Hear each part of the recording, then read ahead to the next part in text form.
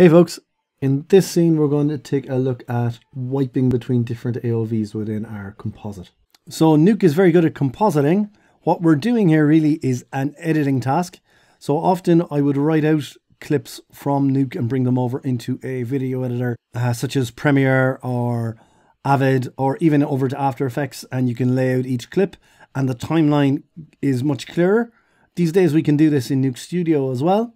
But I'm going to take a look at just doing it within Nuke itself. So here's my diffuse pass, and I color grade that. So I shift the hue uh, to make it more blue. And I'm going to put that over the specular pass just here. Okay, so there's a few different ways we can go about doing this, but probably the most straightforward is to use the copy rectangle. I want to wipe the uh, the specular over the diffuse, so I'm going to hook up the A here to the specular and I'm going to hook up the B to the diffuse and we can take a look.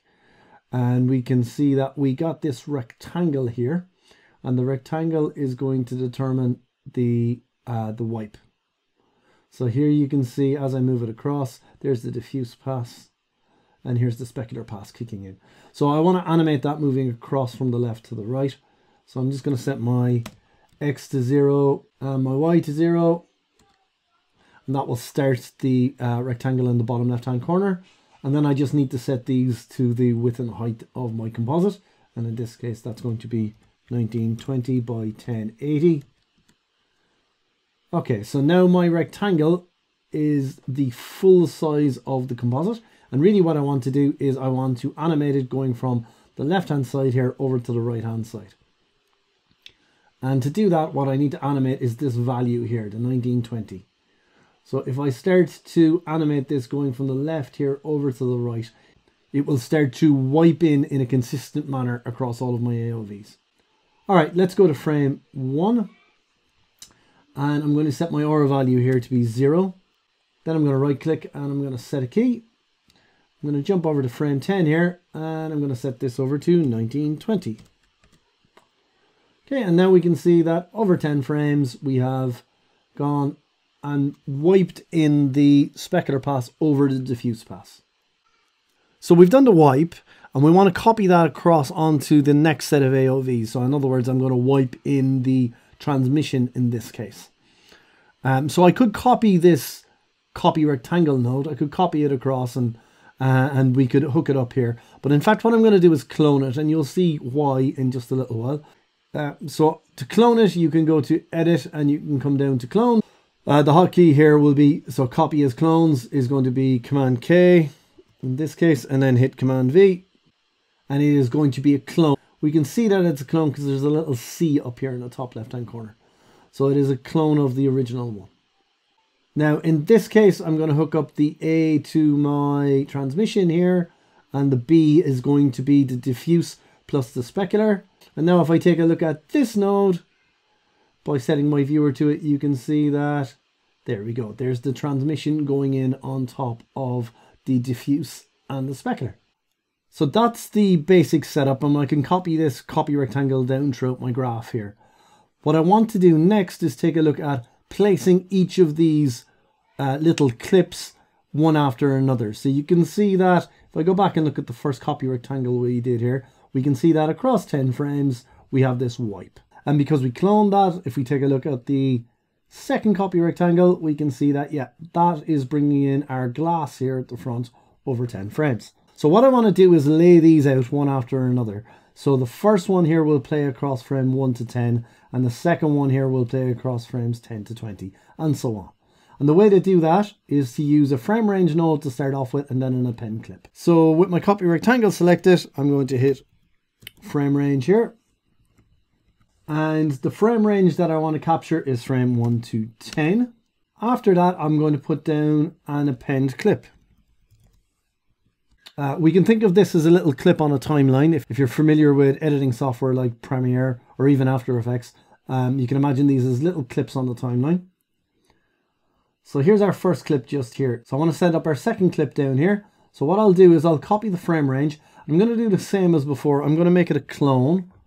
This time I'll just do it up here. So copy as clone and then V and that's copied as a clone just here. And I'm going to hook that guy up just like that. And then I'm going to create another append clip. I'm going to hook the number one of the append clip here up to the first little clip and I'll hook up the number two here to my frame range. So set your viewer to append clip two and what we should see happen is as we go from frames 1 to 10, we're pulling in append clip 1. So that's our first clip. And there you go. There's our spec over our diffuse. And as we go from 10 to 20, yeah, there we go. There's our transmission coming in. Okay, so that is the overall setup here. And we can copy all these uh, one after another to bring in all of the AOVs. Now, one other thing that you'll probably want to do is you'll probably want to have a little bit of text just to explain what's happening as each AOV comes in. So we can do that using a text node. So I'll just put down a text node just here and I'll set my viewer to it. So I'm just going to hit one. Now I'm going to just click up here where I want the text to be. I'm going to put it in the bottom left hand corner. And I'm just going to type specular here. And I'm going to hit M just underneath this for merge. And I'm going to hook up the B to my specular layer just here. So I'll go back and just select the text. I'm actually going to just move it down so it's in the bottom left hand corner. Uh, I don't particularly like that typeface. So I'm going to set it over to Futura here. And maybe we can go to Futura Light or something like that. That looks a little bit neater that is my text for this particular specular layer coming in. And all I have to do then is take the A for the copy rectangle and put it to the, that's merging in the text. Now if I go back and I take a look at my copy rectangle, we'll see that over those 10 frames, yeah, it brings in specular first and then we get to see the layer. I can just copy this. I'm gonna make I'm gonna make just a little bit more room here just so it's easier to see what's happening in this part of the composite. And I'm to copy these guys. So Command C, Command Shift V to paste them without them being hooked up. And I'm just going to take the B here and hook it up to the merge. And I'll take the A going into the copy rectangle and hook it up here so my text is included. And obviously for this particular setup here, I need to change it from specular to transmission or you could call it refraction as well. And if I go and take a look at my append clip 2 here, I can now see that across the first 10 frames we get specular. From 10 to 20 we get transmission. So that's the basic setup. Now the reason that I created the copy rectangle as a clone and the frame as a clone is that if we go and play this back, you'll see that actually it's happening quite quickly.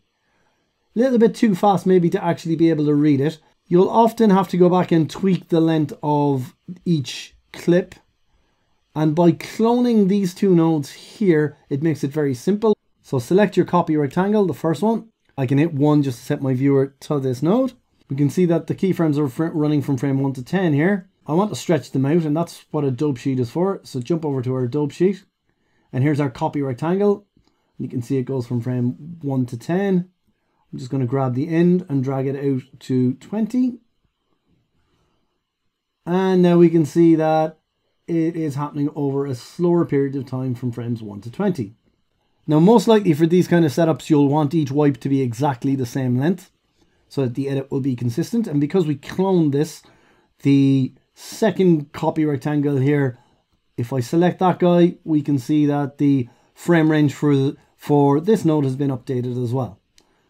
Let's go to our frame range. Now our frame range was taking frame 1 to 10. So I need to update that as well. So let's change that to take it from frame 1 to 20. This guy will be updated as well because it was a clone. So now if I go and take a look at the final append clip, I can scroll through it here and you can see uh, frame 1 to 20, the specular comes in and frame 20 to 40 the transmission comes in. So by cloning these two nodes here, it makes it very simple to go and update the length of time for each clip. Now I can go and just copy these down to the rest of my graph to bring in more and more AOVs. Then next AOV to come in would come in from frame 40 to 60, the next one from 60 to 80, and so on. And once I have them all wiping in the way I want, I'd write them out to disk.